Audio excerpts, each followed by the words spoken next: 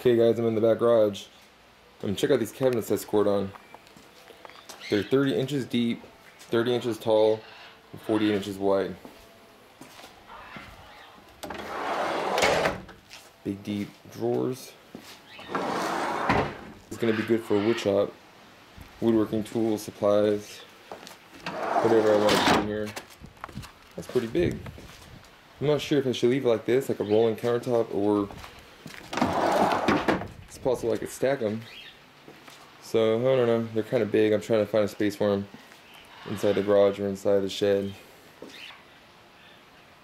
Well, here's what two of them look like stacked on top of each other. Not too bad. Figure if I take the wheels off,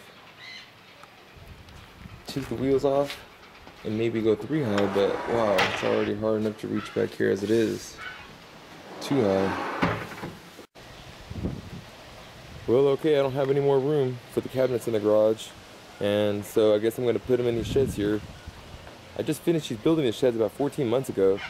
If you're interested in seeing me build the sheds, click the little link right here.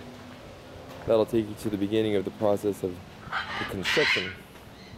So yeah, this one over here is like the little office I don't really use. It's full of crap, but this, this is where I keep all the storage supplies. So I'm gonna put the cabinets. Let's take a look.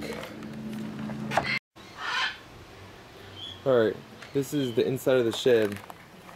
This is the space I was thinking about putting the um, cabinets. It's just barely 40 inches wide where this wine barrel is. I'm going to move these two. I have something else here already. Okay, here's one of them. Rolls pretty good on the dirt. Check it out from the outside view. Got this medium sized drawer. One down. This the bottom drawer. Pretty deep. This bottom one's seven inches deep. So one barrel just took up. And you can see I got one of it in here.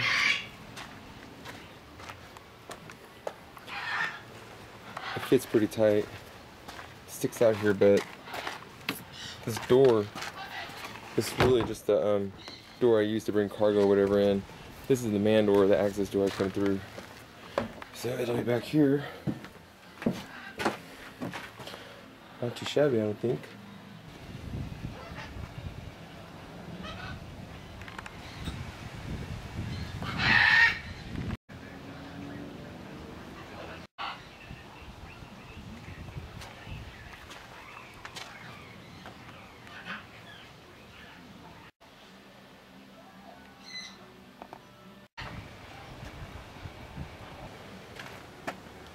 Well, not too bad for extra storage.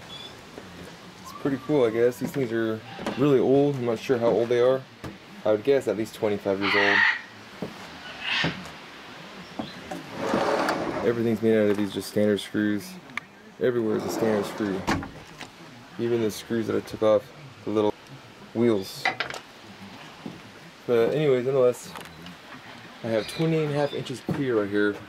And the cabinets themselves are 26 inches. So we got 26 inches. That's 28 and a half. So you can see it's barely going to fit by two inches. Um, this thing's being so big, awkward, and heavy, whatever. They're really hard to move, so I'm going to have to try to get it here by myself. It's going to be interesting. You know, I'm just going to use them for now, and if I ever want to in the future, I could sand this finish down and make it look halfway decent and put a new, some new varnish on it. But for now, it's, it's alright. Yeah, but all in all, I'm pretty happy with it. I still have one more of these big ones, and I have a smaller one to find a home for. I'm thinking about putting a smaller one here. That's probably what I'll do. Um, we'll see. Let's go take a look at those. Alright, here's the other one. This is the big one, and this is the small one. But really, I don't even have room for it. You can see this wall's pretty much taken up. Cabinets here. You walk in here. This is all taken up. This I'm working on. This is where I'm going to put my wood tools. You can see in here too is full. Uh, anyways, it'd be nice to have these three of these in a row. Yeah, so let me find a place for these. Alright, alright. I don't really have a choice. I'm just going to put this other one up here there's no room in the garage. And it'll fit perfect, so we're just gonna do it. And I clear this section out for the other cabinet. Okay, I took the drawers out, and check it out how it stretches. This, these little pieces of wood, which is good, I can add locks to the drawer fronts if I want to. It's a little lighter, so I'm gonna wheel it up in here, flip it on its side, take off the wheels, and then we'll get to trying to lift it up here. Alright, I have it standing on its side. It's got a little bit of separation here. So I'm just going to go ahead and add a screw right here. Alright, I got the wheels off. Now it's time to lift it. Oh, they look a little rough in the video. All this is is just paint. But, I don't know, probably, it'll probably get me motivated just to finish the face. Make it look nice. Okay, I got this other cabinet in here. I'm gonna put this over here anyways, but I'm gonna improvise. This the big cabinet's gonna go on top of this cabinet, and that'll give me enough lift to get up here.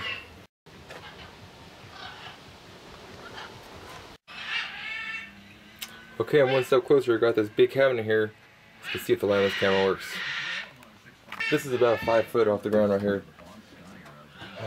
Cabinet, this cabinet here weighs probably about a good hundred pounds just as box. Um, you know, one thing I like about it is solid wood. It's not particle board. That's actually the best part about it. If it was old particle board, I probably wouldn't care, but these things are solid wood. I like it. Alright, let's see if I can get up here without damaging anything. It's a tight fit. I actually did it. It's way up there.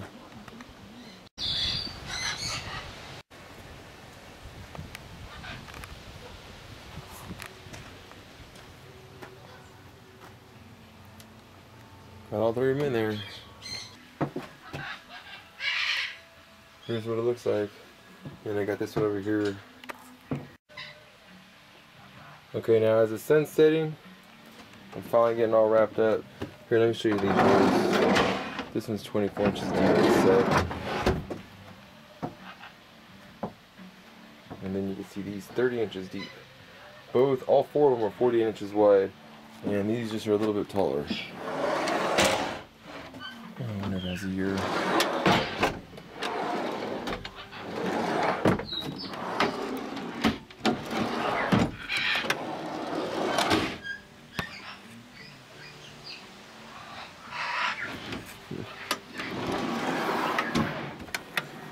Oh yeah, check this out.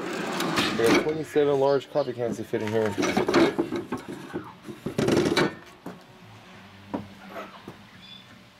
That's a lot of space. That's just one drawer.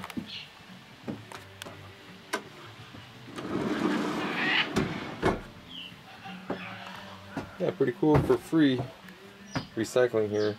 I think they're gonna throw these things away. Where I got them from. They replaced them with brand new. But hey, you know what? For me, a woodworker, this is perfect.